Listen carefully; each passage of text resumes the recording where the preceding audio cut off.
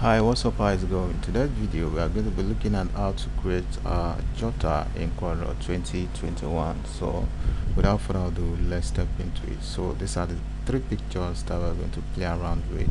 With this you know background right here that was downloaded from freepik.com uh, it's actually free. If you go to freepik.com and uh, you know search for this image definitely you're gonna have this you know so without further ado let's step into it. Let's go over and just change the uh, page to a5 let's look at a5 size.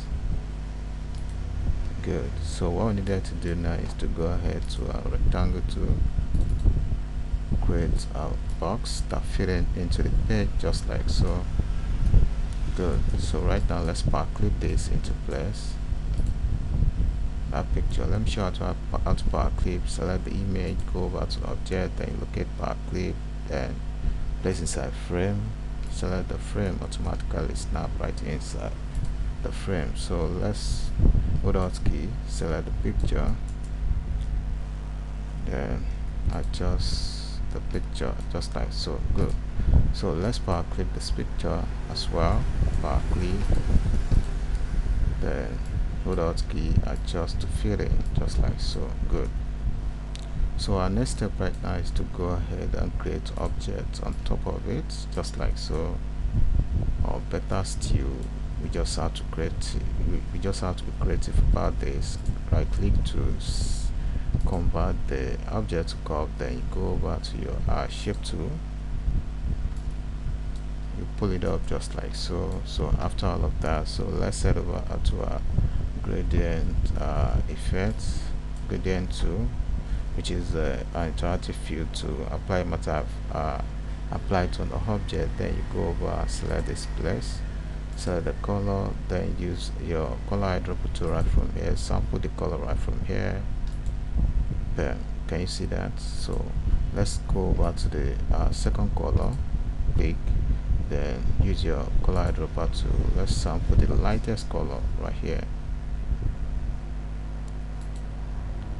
good can you see that? So what we need to do is to just right click to set outline to none then let's power clip this into place. Good so hold Alt key select the object then you adjust just like so good. So our next step right now is to go ahead and just type the name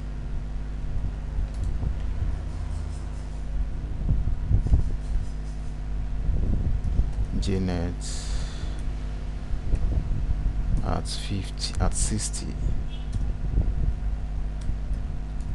so what we need to do is to go ahead and change the font to uh, couple then hit ctrl k to break that into pieces. Then let's make this a bit bolder so what we're going to be doing now is to head over and just you know uh, click your shape tool close the tracking just like so let's change it to white then let's go over and just you know uh, hit control k to break that into pieces delete this then let's go over and just you know change the fonts to times uh, bolding it all up. Then let's go over and create a perfect circle just like so. Make a copy in word just like so. Then let's squeeze it this side a bit good. Combine the two together change it to white. So what you're gonna do now is to go ahead to your uh, gradient effect which is the interactive fill tool double click the middle and apply gradient right there. We are going to use make it you know silver. Then let's go ahead and set outline to none. So after all of that let's just lighten it all up a bit. So after all of that so hit on F12 a dialog pops up then you make it 1 check on scale with objects uh, check on behind fill it's okay good. Make it uh, right drag it on top of the 6 then you will let the mouse. So when it pops up then you choose copy your properties. Can you see that? So in this case what we're going to be doing now is to reduce this a little bit no? Don't let's reduce it a bit then let's go ahead and apply you know gradient uh, shadow effect just like so. Good. Can you see that? Go ahead to object then you break four objects into pieces. Good.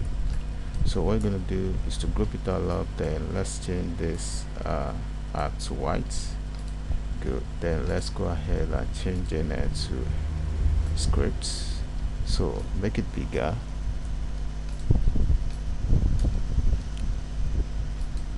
apply white right click to set outline to white as well then hit on F12 let's stick in the outline let's make it 3 good.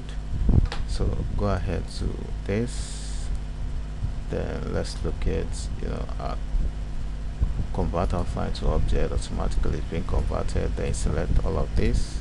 So what it all up so what you're going to be doing now is to right drag this on top of the Janet release your mouse then you so when it pops up then you choose copy of properties automatically you have it.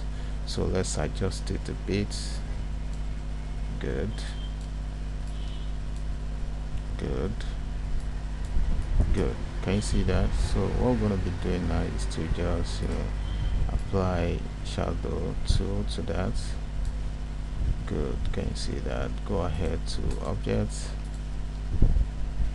drop shadow apart. Here we have this. Good. So let's make a copy of this. Let's delete this. So what we're gonna be doing now is to make this object a bit bigger. So we have this kind of background. So let's power clip this into place. Then make it bigger a little bit. Good. Here we have so what we're gonna be doing now is to type thank you. Thanks